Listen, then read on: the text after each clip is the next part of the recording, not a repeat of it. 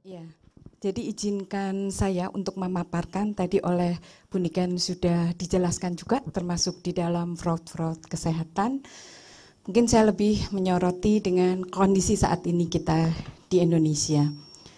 Jadi ini adalah merupakan alur yang di dalam penyajian ini dari pendahuluan definisi dan jenis fraud, kerugian, dan apakah fraud termasuk tindakan kriminal atau bisa juga tindakan yang lain kemudian bagaimana pencegahannya dan diskusi. Nanti yang terakhir kita akan mendiskusikan sebetulnya siapa yang paling berperan. Tadi juga isu ini sudah disampaikan oleh Bu Niken dari KPK apakah siapa sih yang paling berperan? Tadi dikatakan ada BPK, ada OJK, kemudian yang terakhir ada DJSN.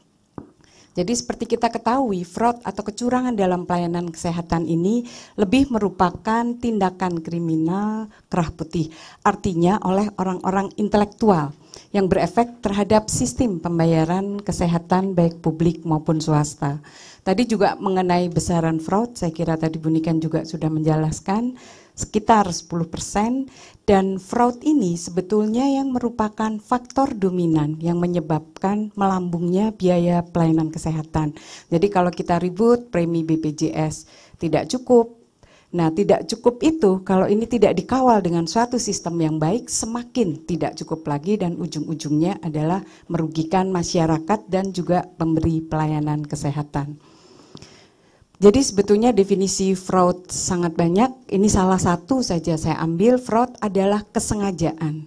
Jadi antara niat, kalau saya berniat tapi belum saya lakukan, kalau di pelayanan kesehatan ada ada yang disebut dengan abuse dan ada yang disebut dengan fraud.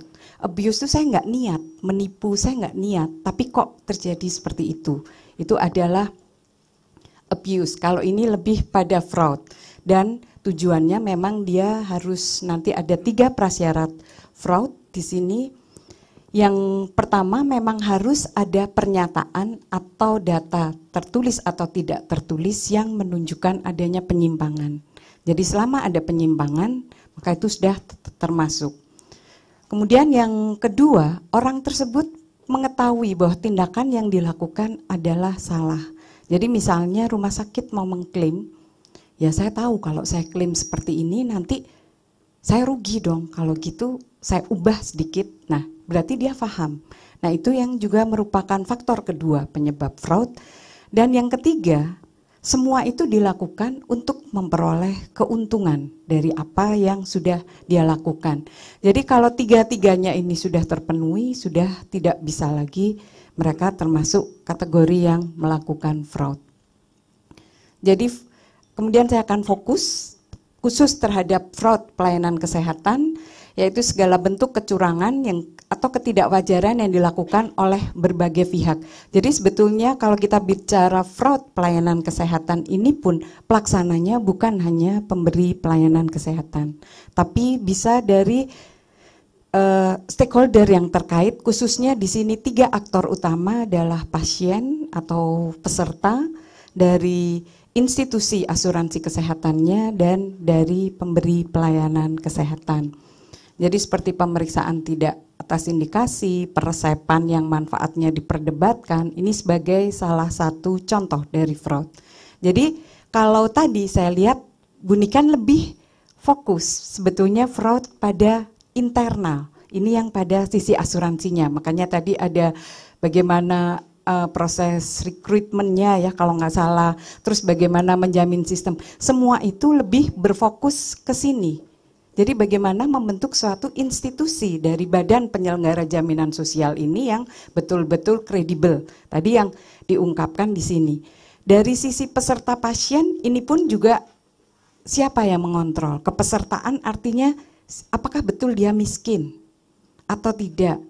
Kemudian Bapak Ibu juga tahu sekarang jual beli kartu jam kesmas. Siapa yang mengontrol? Ini masih belum jelas. Tapi ini yang mau mengontrol sudah banyak ini. Tadi OJK, BPK, KPK pun fokus di sini. Kemudian yang mengontrol ini siapa? Pemberi pelayanan kesehatan. Karena merekalah pengguna anggaran dari BPJS. Nah, bagaimana mengontrol rumah sakit ini? Nah, nanti mungkin kita lihat bagaimana di luar negeri. Ya ini tadi contoh fraud ini kalau kita melihat pada health insurance dari American Association ini di Pamjaki kita menguji modul ini juga adalah salah satunya pengaruhi pasien untuk melakukan tindakan bedah yang sebenarnya tidak perlu. Mohon maaf, bukan saya ingin juga mendiskriminankan. Apakah OJK, apakah BPK, apakah KPK bisa mengetahui dia betul perlu nggak seksio? Dia betul perlu nggak operasi usus buntu? Itu salah satu masalah. Kemudian kalau tagihan jasa fiktif saya kira ini bisa didetek.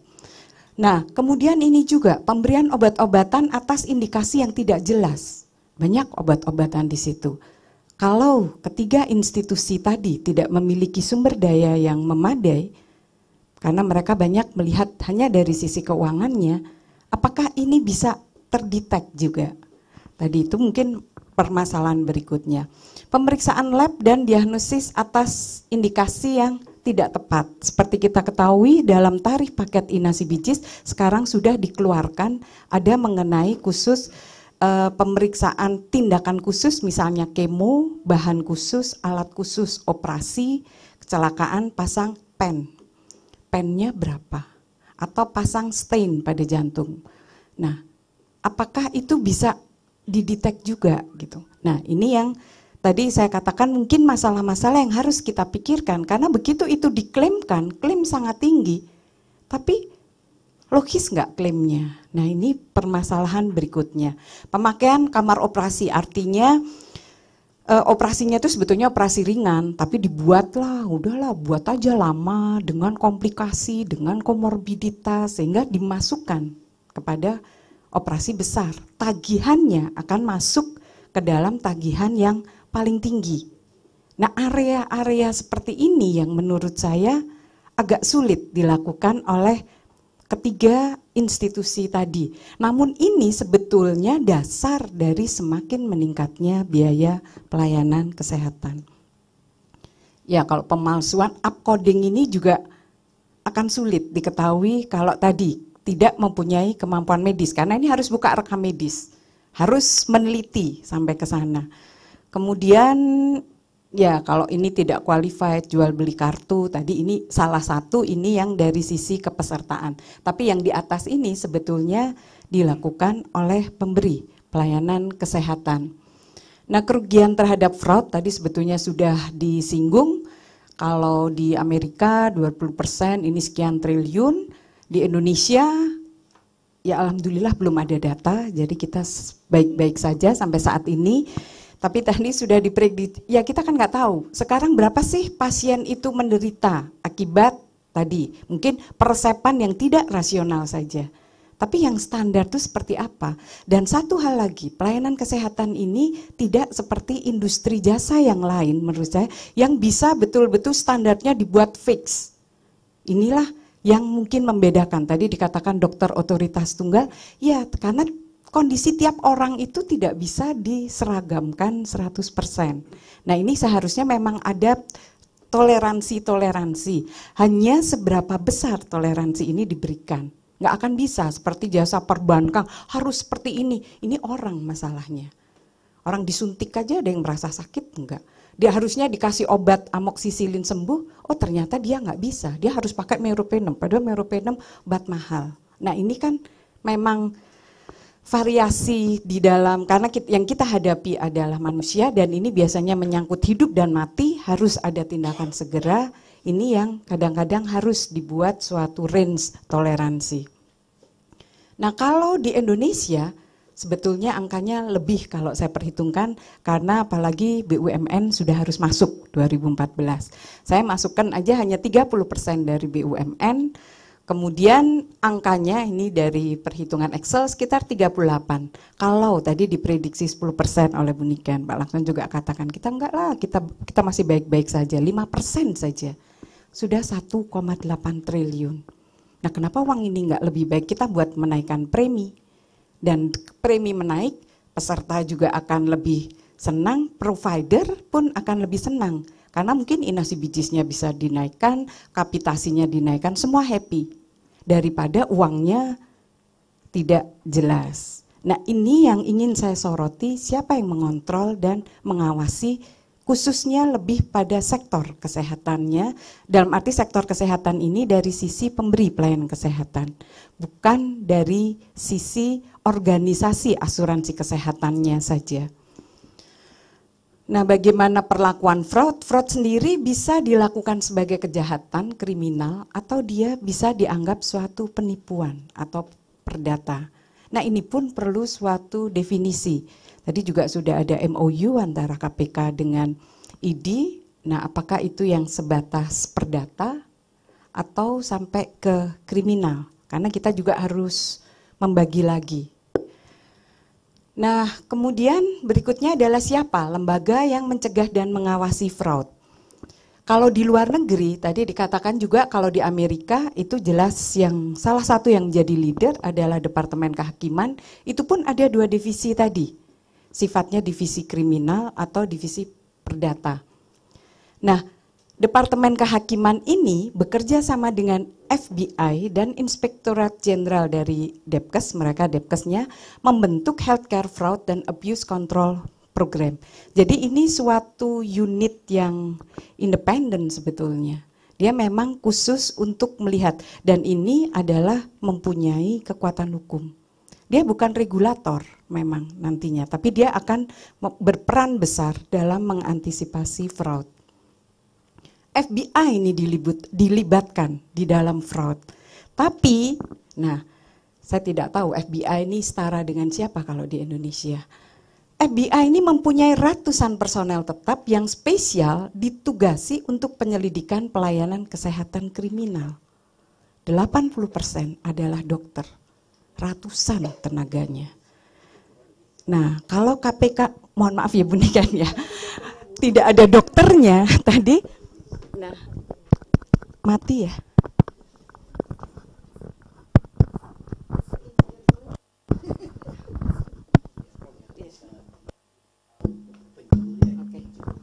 Iya, kalau apalagi informasi dari Bunikan, KPK tidak ada dokternya, insinyur semua. Nah, tadi indikasi adanya overtreatment, overutilisasi obat-obat ini, apakah bisa didetek gitu? ya, jadi kalau kita lihat kenapa FBI kita ya tahu saya pun dulu sebetulnya FBI seperti di TV-TV itu lebih banyak dia mengejar perkara-perkara kriminal yang sifatnya non kesehatan. Tapi setelah saya lacak lebih lanjut, ternyata di FBI ya kita lacak di ini kok dia bisa berperan, ternyata dia punya tadi ratusan personel dengan latar belakang medik. Nah ini mungkin yang saya tidak tahu di Indonesia siapa yang punya ini. Tapi tadi sebetulnya sudah dibuka suatu peluang, KPK bisa saja bekerja sama atau mempunyai jejaring. Nah jejaring ini mungkin kok dokter tadi dikatakan oleh Pak Laksono perguruan tinggi punya banyak SDM, kita punya juga organisasi PAMJAKI, Persatuan Ahli Manajemen Jaminan Kesehatan, di mana di situ adalah pakar-pakarnya juga mungkin bisa membantu. Nah jejaring inilah yang harus diaktifkan. Nah, mereka ini kemudian akan bekerja sama. Nah, satu lagi juga di Amerika ada yang disebut National Association of Insurance. Ini yang disebut dengan naik. Nah, ini saya ekivalenkan apakah kita di Indonesia ini setara dengan OJK? Karena fungsinya memang dia adalah organisasi nasional yang sebetulnya ini lebih pada keseragaman peraturan asuransi secara nasional, khususnya pada persyaratan keuangan. Artinya kalau ya karena kalau di Amerika kan badan pelaksananya banyak. Boleh Anda ambil pasar jam kesmas, tetapi misalnya ada aturan kalau di Medicaid itu 7525. 70, uh, 25 persennya harus masyarakat umum, nggak boleh semuanya adalah orang miskin. Untuk apa? Untuk kontrol mutu. Jadi nggak boleh berbeda. Jadi itu semua diatur. Kemudian dalam hal benefit, manfaatnya itu betul-betul diatur. Jadi yang disebut dengan asuransi kesehatan dia harus betul-betul jangan sampai tanda kutip mencurangi dari konsumennya. Misalnya, oh boleh berobat ke rumah sakit, tapi harus melalui primer, kemudian harus tipe C dulu, tipe B. Padahal menuju rumah sakit tipe C mungkin jaraknya satu jam. Nah kenapa dia nggak boleh langsung ke B kalau itu yang lebih dekat? kalau kasus emergensi. Nah hal-hal ini itu diawasi oleh naik ini. OJK sepanjang yang saya mungkin nanti ada Bapak atau Ibu dari OJK mungkin bisa sharing juga dengan kita, apakah benefit ini juga akan diawasi walaupun memang salah satu uh, visinya adalah melindungi customer. Tapi sampai tadi loh harus berobat. Kemudian kalau mereka yang di Natuna, mereka yang di ini suruh bayar premi. Tapi mau ke rumah sakit aja harus 6 jam naik kapal. Biayanya sekian. Apakah itu juga harus ditarik premi? Jadi customer kan harus dilindungi untuk mendapatkan benefit. Nah, apakah lingkupnya sampai ke sana atau hanya sebatas peraturan keuangan? Harus seragam aturannya. Karena dulu memang kalau dulu bentuk PT kan ada juga uh, jam sostek, askes yang bentuk PT. Kemudian dengan BPK overlap enggak? Ini yang mungkin harus kita diskusikan. Kemudian khusus untuk Medicaid, ini kalau yang di kita penerima bantuan iuran, karena ini menggunakan porsi APBN yang cukup besar, di Amerika ini ada yang disebut Medicaid Fraud Control Unit. Nah, jadi sendiri, karena ini khusus mengontrol dana-dana APBN. Kalau BPJS kan ada PBI, ada non-PBI. Yang non-PBI secara umum, tapi khusus dana-dana yang dari federal, kalau di sini itu khusus diawasi dan dia punya jejaring dari level nasional sampai ke daerah. Kemudian pendanaannya pun mereka bisa sharing. 75% ditanggung pusat, 25% ditanggung oleh provinsi. Nah ini mungkin juga harus kita pikirkan khusus untuk yang PBI. Jangan sampai nanti PBI ini juga akhirnya dalam tanda kutip dikalahkan oleh peserta non PBI. Jadi Medicaid Fraud Control Unit ini khusus untuk pasien-pasien jam, jam kesmas kalau di kita karena penerima bantuan iuran. Nah di kita pun saat ini kita punya yang disebut Dewan Jaminan Sosial Nasional yang tugasnya antara lain melakukan kajian dan penelitian. Nah ini tadi mungkin bisa apakah bisa disinkronkan dengan litbangnya KPK atau ya mungkin ada litbang Kemenkes, ada di perguruan tinggi kita semua juga punya litbang. Kemudian dia bisa mengusulkan kebijakan investasi dana dari jaminan sosial nasional. Dan dia juga bisa mengusulkan anggaran jaminan sosial untuk PBI dan menjamin tersedianya anggaran operasional. Jadi dikatakan juga dalam melaksanakan tugas fungsinya dia bisa minta masukan dari masyarakat dan bantuan tenaga ahli. Nah ini berarti Terus di mana kedudukannya? Apakah dia memang internal? Karena kita tahu juga DJSN bukan merupakan institusi yang betul-betul independen, berbeda kan dengan KPK ataupun mungkin uh, eh, OJK. Nah, kewenangannya dia bisa melakukan monitoring dan evaluasi dan juga tingkat kesehatan keuangan. Nah, mungkin ini bisa kerjasama. Yang saya melihat ini ada overlap berbagai fungsi yang sudah ditetapkan.